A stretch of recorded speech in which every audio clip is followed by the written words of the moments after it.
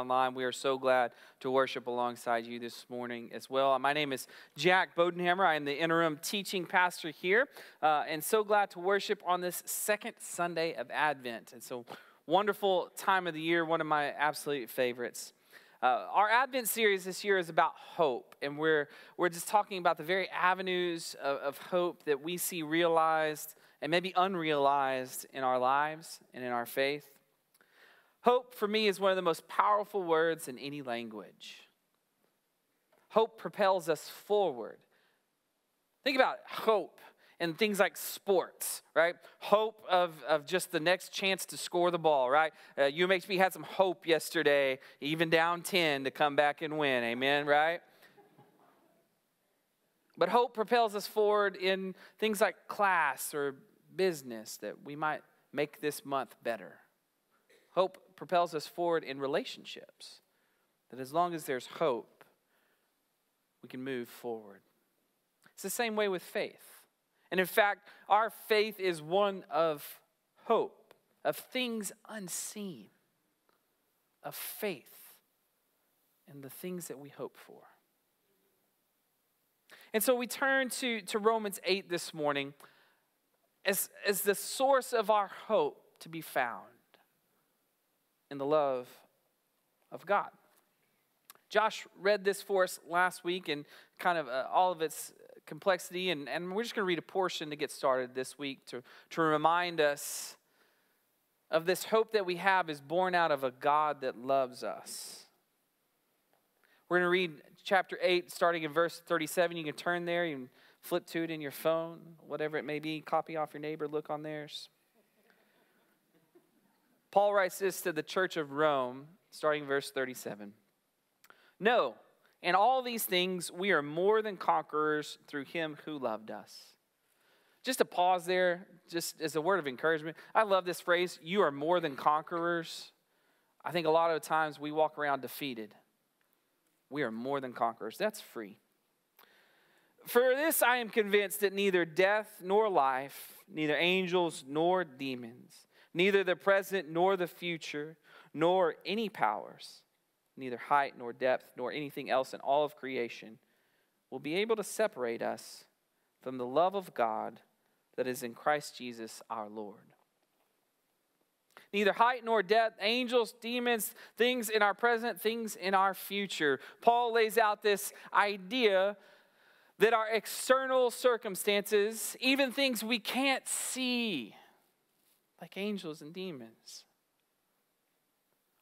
Nothing can separate us from the love of Jesus Christ. Heights or depths. And, and why does Paul include heights and, and angels? I think about it in this way. There are often times in our lives where we're working at the mountaintop or we're, we're having a pretty good go of it. We're at that height.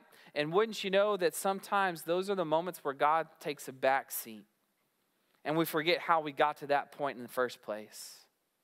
So, even in that moment where things are great and we're just scooting down the road, we're not separated from the love of God. That is a hopeful thought. There's a, there's a song that we sing uh, primarily across the hall. Maybe we've sung it in here. Uh, you, you may have known it if you, you listen to Christian radio or, or been across the hall. It's, a, uh, it's called Reckless Love. And I like this song. It's a great song. It's about the work of love of God. And the chorus goes like this Oh, the overwhelming, never ending, reckless love of God. It chases me down, fights till I'm found, leaves the 99. I couldn't earn it, I don't deserve it, Still, you give yourself away. Oh, the overwhelming, never ending, reckless love of God. Now, Gary, Joe asked me if I was going to sing that, and it was at this very moment where I looked at everybody and went, No, no. I like this song though because the, there, there's so many good lyrics about what God is doing and God's love for us. But if I were the writer, I would change one word. I'd just make one small edit. My song would go something like, Oh, the overwhelming, never ending, wreckful love of God. Except that's not a word. Did you know that? That the opposite of reckless is not wreckful? So maybe I would change it to the overwhelming, never ending, intentional, deliberate, mindful, careful work of the cross. And I'll never make it in Nashville that way. but that's, that's the love of God, guys. That, that is intentional, it's deliberate, it's mindful, it's, it's personal, it's meaningful. And we read about this kind of love just a few chapters prior. Turn back with me to, to Romans 5. I want to read a couple verses from there. About this love and the hope that we get from it. Starting in verse 6 of chapter 5, Paul writes You see, at just the right time, when we were still powerless, Christ died for the ungodly. Very rarely will anyone die for a righteous man, though for a good man, someone might possibly dare to die. But God demonstrates his own love for us in this while we were still sinners, Christ died for us. Since we have now been justified by his blood, how much more shall we be saved from God's wrath through him? For if when we were God's enemies, we were reconciled to him through the death of his son, how much more, having been reconciled, shall we be saved through his life? Not only this is so, but we rejoice in God through our Lord Jesus Christ, through whom we now have received reconciliation. A portion of scripture here about the love of God. Now, if you're a note taker, I want you to do something this morning. I want you to take a line, draw it down the middle of your paper. And if you're not a note taker, that's fine. Uh, maybe today's the day to start, or maybe just draw a line down the middle of your brain. Um, we're going to have two categories here uh, that to, for us to think about. The first category is how the scripture talks about humanity, about me and you. In this second category, we're going to look at what the scripture says about how it talks about God. Okay, so, so stick with me on this, that, that this humanity corner, uh, let's, let's work this side of the puzzle first. Paul writes that we are powerless. The beginning of this verse 6. Powerless, sickly, weak, unable to make any kind of change and justification for ourselves. We cannot make ourselves righteous. We cannot put ourselves into right relationship with God, is what Paul is saying. You don't have the power to do that. You are powerless. Not, not even just a little bit, but powerless without the ability to make the change.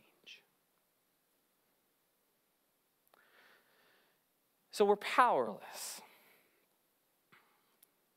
We're also ungodly, which is not a word we use a ton in our common language. And, and Paul does this really unique thing here where he says, uh, describing the ungodly, and then he, he juxtaposes it with the righteous and the good. All right? So we're put in this ungodly category. And then he talks about the righteous, that very rarely does someone die for a righteous person, but for a good person, someone might. Well, what's the difference? Why, why the righteous good? Well, there's a lot going on here. It's important for us to understand in the first century, this is an honor and shame culture. And we don't catch that much in the West. We don't understand that. But in an honor and shame culture, if you are shameful, you're put out, you're ostracized, you're put to the side. That if you lose your honor, the community might disown you and you're left for survival alone in this world. Now, this is true for both Greeks and Jews, okay? First century world. If you are on the wrong side of honor and shame, you're left in the cold. Now, a righteous person is someone who's morally and ethically right, that do the right things, uh, the moral imperatives, if you will. A good person is someone who is impacting the culture around them. Okay? So, in this idea of honor and shame, there's also reciprocity, right? That if I do good, then others around me will do good to me. And that was the expectation of being honorable. And we see it throughout the New Testament constantly that good people that have works in this world, it's expected that good to come around to them. For example, uh, when the centurion's daughter is, is ill, the Jews uh, advocate for the centurion because he's built a synagogue and he cares and he loves God. Um, and they say, hey, this, this person has done good to the community. We should do good for him and ask Jesus to heal. That's what's going on here. Say, for the righteous person, you're not going to really do that. That's a morally right person. Someone will die for a good person because that's the expectations of society. But the ungodly stay over there. We're over there. Powerless, ungodly. We're going to come back to that. Because Paul also describes us as sinners. I don't like that word. Do you like that word? How would y'all like to be uh, welcomed every Sunday morning as, hello, sinners? We're so glad you joined us for worship this morning. Welcome to our sinners online. We're so glad you're watching us from home. No, we don't like that term because it reminds us we have, we have done things to alienate ourselves from God. We have done things that God has told us not to do, and we know that. We have left things undone that we know we should have done. And we call all of that sin. And to be reminded of that, it's uncomfortable. It brings on feelings like guilt and shame. Sinners. So we're powerless, ungodly, sinners, and enemies of God. Kind of wish we just had stayed with sinners. Because enemy denotes something even worse. See, first century, take us back, right? Enemies, what do enemies do? They steal, they kill, they destroy. It sounds like the enemy, doesn't it? But it's true that if you had an enemy, it's because they're coming to take your property, take your land, destroy your faith system, give you a different language, make you have a different name. Enemies were real and you hated them. And it was almost virtuous to hate your enemies. And here we are being called enemies of God. That is an uncomfortable place to be. That's our category. Now let's look at what God is doing here. God, in this second category of our page, died for the ungodly. You remember the ungodly? We're, we're over here, right?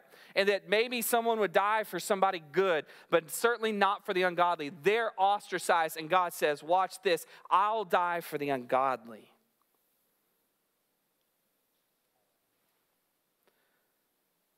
That culture has this dictate that those people are unworthy, and, and this one commentator said uh, that, that divine behavior runs counter to cultural expectations. Praise God. The whole world says, get out, and God says, come here. So God dies for the un, un, ungodly. God demonstrates love. This is an ongoing demonstration. This is a present tense verb. God demonstrates love. Yes, Jesus died once on the cross and for all. He resurrected on that third day. But it is an ongoing demonstration that here in this room, we can look to the cross today to see the love of God. It's as important for us at First Baptist Temple in the 21st century as it was for Rome in the first century. If you're sitting in your chair and you need to know that God loves you, let me point you to the cross as the demonstration of God's love for you.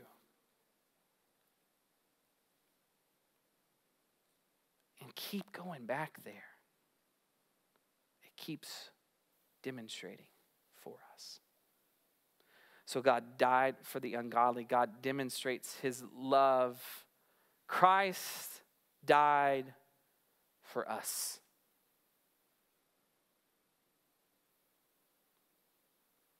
Us. Us. It is a tiny word with such great significance. And that us is sometimes so much bigger than we're comfortable with. But this is a God that while we were still yet sinners, Christ died for us.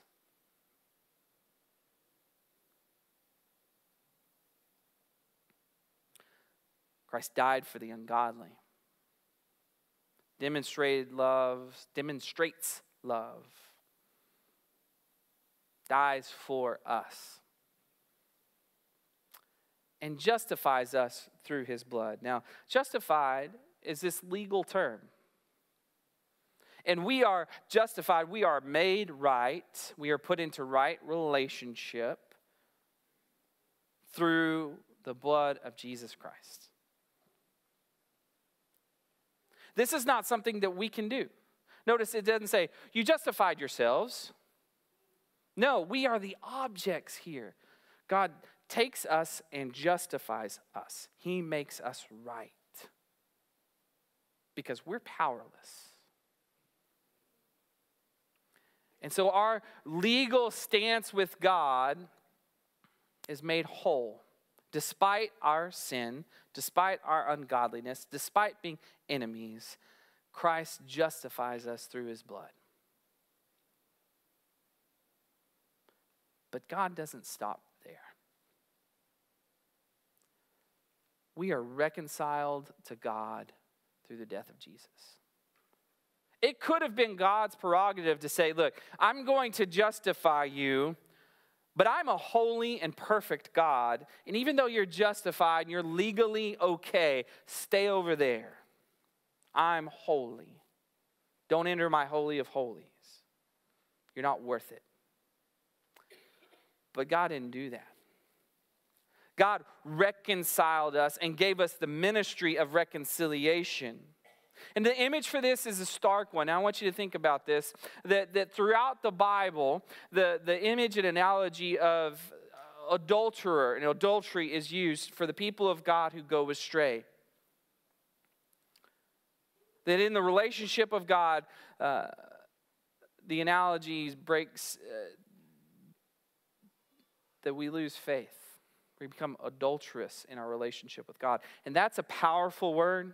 I realize that's a charged word. I realize there are people in this, this room today that have been touched by adultery. They know uh, what it means to hurt in that way. I don't use it lightly because I don't think the Bible uses it lightly. I think the Bible takes something that we understand that is devastating, that breaks trust, breaks faith, that is harmful, we understand the depths of struggle and strife that comes with something like adultery. And God says, We're reconciled now. Friends, we need to understand we were on the wrong side of a bad relationship. Through our own actions and sin and alienation from God. And God didn't just justify us to make us right, God said, Come here and be reconciled.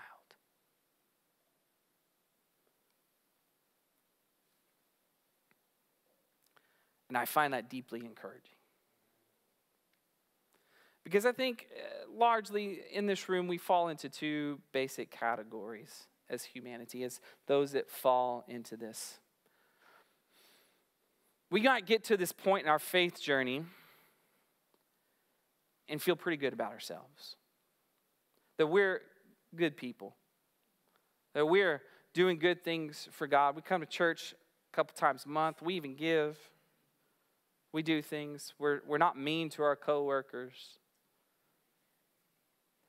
And somewhere along the way, we think that we're earning God's love. And friends, there are whole faith systems of the world that are built on this of just be a little bit more good than you are bad, and you'll be okay.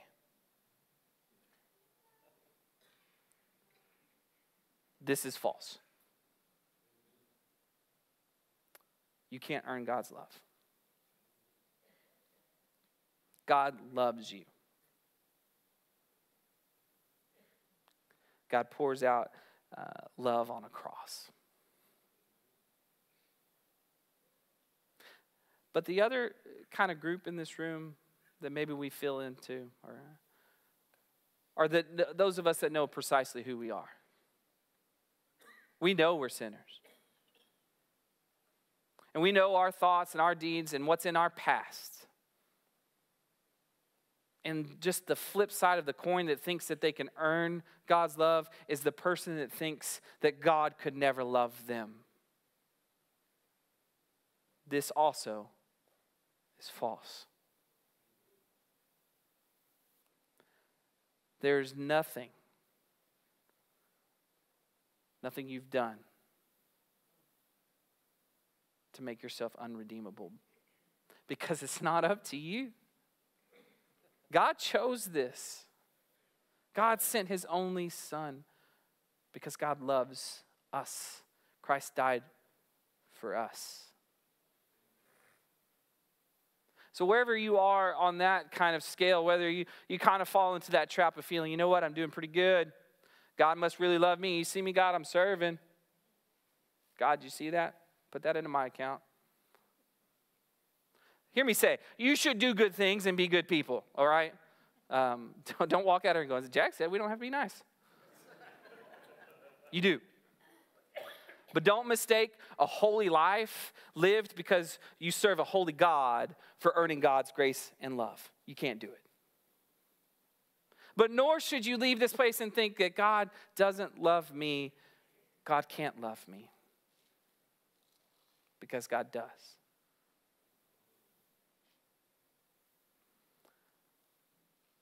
That it is God who loves, Christ that justifies. Christ that reconciles, Christ that saves. And the call is out to us. It's Jesus in his first sermon, as recorded by Mark. Repent and believe. That there's power and love in the cross, and there's something to hope for. See, in this time of Advent, I think about how, how Jesus' first appearance there in Bethlehem and, and the, the angels that come down and, and bring great tidings of comfort and joy. And that is the hope that we hold on to in this moment. Hope that you can't earn God's love. Hope that you can't earn God's love.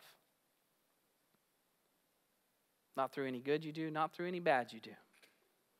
God loves you. God loves us. And that, my friends, in this time of Advent, is something worth hoping in. And if you're sitting there this morning And you need that hope, that reconciliation, that justification, that salvation. Maybe it's the first time. Maybe you sit there and go, Look, I've never experienced that kind of reconciliation to God. Maybe you're sitting there and it's been a long life of filled with faith, but you find yourself falling into those traps. May your hope be in this God that loves you, not because you're great, but because God is great. God, we are grateful because you call us into relationship with you. You restore us. You justify us. You save us. God, you reconcile us. And it is but the call to faith that you offer us. In this room and around the world, God, we join the choruses of worshipers. Grateful that we can love you because you have first loved us. And God, may we not leave this place